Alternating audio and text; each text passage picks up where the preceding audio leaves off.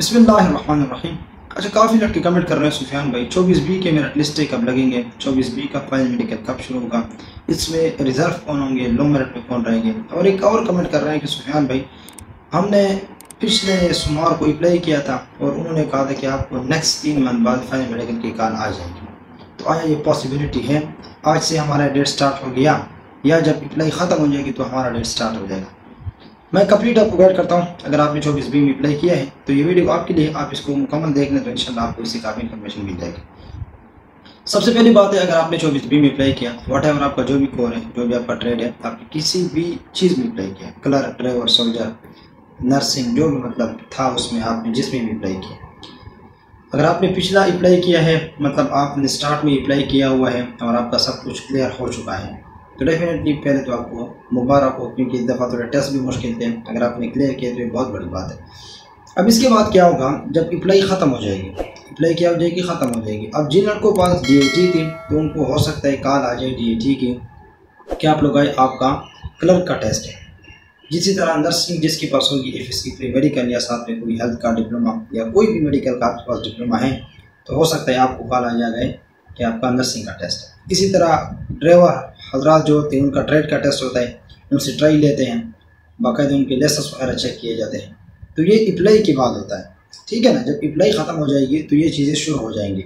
अब लेकिन ये एक एक दिन है। मतलब जितने अप्लाई में लोगों ने अप्लाई किया हुआ है फॉर एग्ज़ाम्पल अगर 300 क्लर्कों ने अप्लाई किया हुआ है तो 300 को एक जगह पर बुला लिया जाएगा, उनको खा जाएगा आपका ट्रेड का टेस्ट क्योंकि वो एक ही दफ़ा आपसे लेते हैं बार बार आपसे नहीं लेते। इसी तरह नर्सिंग वाले होंगे, इसी तरह ड्राइवर होंगे। ठीक है ना? अब इसमें क्या होगा कि उसके बाद फिर आपको कहा जाए कि आपको कार आएगी। अब जिनके पास डी होगी, उनको यह कहा जाए कि आपने फर्दर वेरिफिकेशन करनी कहाँ से टेक्निकल बोर्ड से? अब टेक्निकल बोर्ड कहाँ पर यही पेशावर में अब काफ़ी लड़कों के पास पेशावर का होता है, किसी के पास बीटेक का होता है, किसी के पास किसी और इंस्टीट्यूट का होता है। तो अपने बोर्ड से मुल्हका बोर्ड जो रजिस्टर्ड होगा तो आपको वेरिफिकेशन करके दे देंगे। अगर रजिस्टर्ड नहीं होगा उसी तरह आप रह जाएँगे, आपको कोई फ़ायदा नहीं है। आपको दोबारा कहा जाए कि आपकी डिग्री फेक है कैंडे हम आपको नहीं रख सकते। तो कोशिश करें कि टेक्निकल बोर्ड से करें डीआईटी इसी तरह नर्सिंग वाले, उनके पास अगर कोई डिप्लोमा होगा तो वो भी वेरिफिकेशन करके आएँगे। इसी तरह जिनके पास जिस भी ट्रेड का कोई भी डिप्लोमा होगा तो वो लेकिन डिप्लोमा कम अज़ कम वन ईयर का हो। मोस्ट वन ईयर का हो, तब जाकर आप लोग इसके ऊपर अपनी वेरिफिकेशन वगैरह करवा सकते हैं और वहाँ पर जमा कर सकते हैं। जब फर्दर वेरिफिकेशन वगैरह आप लोग ले आएँगे तो आप लोग सेंटरों में जमा करेंगे, आपको एक हफ़्ता का टाइम मिल जाता है। उसके बाद आपका फर्दर प्रोसेस स्टार्ट होगा।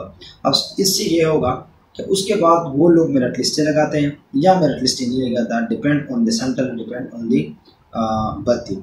ठीक है ना? कि वो भर्ती का मेरिट लिस्ट लगाते या नहीं लगाते। अब बाईस बी का बाईस ए का बीस ए का, उन्नीस बी का, इन सब के मेरिट लिस्टें आज भी अगर आप नेट वगैरह पर चेक करते हैं तो अवेलेबल हैं अब ये कुछ भर्तियाँ इस तरह आ रहे हैं कि उनके मेरिट लिस्ट पर कुछ सेंटर के लग रहे हैं, कुछ के नहीं लग रहे हैं, कुछ वहाँ पर लड़के जा रहे हैं, वहाँ पर खुद चेक कर रहे हैं। तो बहरहाल आपको पता लग जाएगा कि मैं कितना पानी में था और मैंने कितना पाया है और कितना मैंने खोया है, वो आपको पता लग जाएगा। इन फर्दर हम आप लोग को गाइड करते रहेंगे। आप इस चैनल के साथ जुड़े रहा करें। ठीक है ना, उसके बाद फिर अगर आपका नाम मेरा लिस्ट में आ गया, अल्लाह करे कि सबका आ जाए, जितने भी मेरे व्यूवर्स हैं, अल्लाह पाक करे कि सबका नाम आ जाए। तो फिर उनको फाइन मेडिकल के फर्दर काले होते हैं, उसके बाद फिर ट्रेनिंग है, ठीक है ना? तो ये तमाम प्रोसेस आप लोगों का चलता है, इसी तरह आप लोग आगे जाते हैं, इसी तरह मतलब आप लोग आगे प्रोसेस करते हैं, और इसी प्रोसेस के ज़रिए आप जाकर फाइन मेडिकल में अपियर होते हैं, ठीक है ना? तो बाकी ये है, इनमें रिज़र्व भी आप होंगे लो मेरिट भी होंगे वेटिंग लिस्ट में भी आप जाएँगे तो वो इन मैं आपके साथ डिस्कस कर दूँगा कि कितने लड़के होंगे, कितने नंबर वाले होंगे, क्योंकि अगर यहाँ पर मैं सारी चीज़ें भी बताऊँ तो फिर ये वीडियो बहुत लंबी हो जाती फिर आप लोग कमेंट करते हैं, सुफियान भाई वीडियो थोड़ा शार्प बनाया करें। तो काइंडली मैं फिर आपसे रिक्वेस्ट करता हूँ, पाँच वक्त की नमाज़ अदा करें, अगर आप अप्लाई किया हुआ है।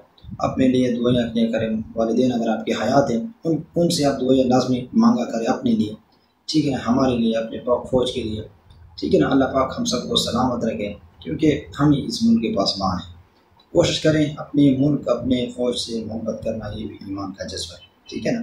तो बहरहाल अल्लाह पाक आप सबको कामयाब करें। अब जिस भी फ़ील्ड में हाँ जिनके पास उलमाए कराम की कोई डिग्री है तो वो लोग भी डेफिनेटली उसकी वेरिफिकेशन करेंगे। आ, जो भी डिग्री आपके पास है मैं यहाँ पर इन आपको बताता हूँ जो भी आपके पास डिग्री है आपने इसकी वेरिफिकेशन कर लेंगे ठीक है ना?